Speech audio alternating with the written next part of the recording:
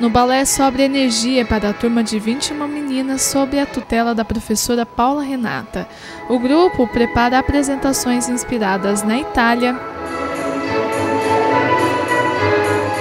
e na terra do melhor balé do mundo, a Rússia. A gente precisa ter muita criatividade para deixar eles concentrados, para que elas fiquem concentradas, porque elas cansam rápido.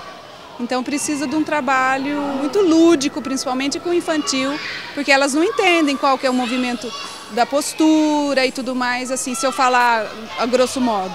Os ensaios foram reforçados para as alunas fazerem bonito durante o primeiro festival de dança do Clube Guaxupé, que acontece no próximo sábado.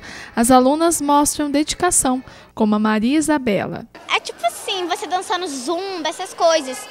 Só que em vez de você dançar zumba, você vai ensaiar. No primeiro dia que você já ensaia, você já aprende. Segundo o presidente do clube, o festival deve ficar no lugar das antigas apresentações de encerramento das atividades do ano. Esse encerramento que a gente fazia, fez aí há mais de 10 anos, realmente é mostrar ah, as atividades e encerrar as atividades. A ideia nossa é que isso agora continue, né, dá um uma conotação de, de continuidade.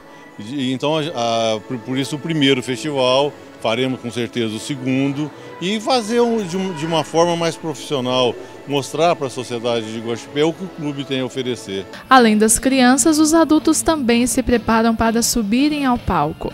O grupo de dança do ventre, que tem alunas a partir dos 18 anos, está preparando uma viagem aos países árabes e ao Caribe. O tema do festival é Volta ao Mundo através da dança. Então nós vamos representar alguns países árabes, né? Egito, Arábia Saudita, Marrocos, é, vários países e vai ser muito legal. A gente vai representar desde a dança moderna, dança do ventre moderna, dança tradicional e vai estar muito legal.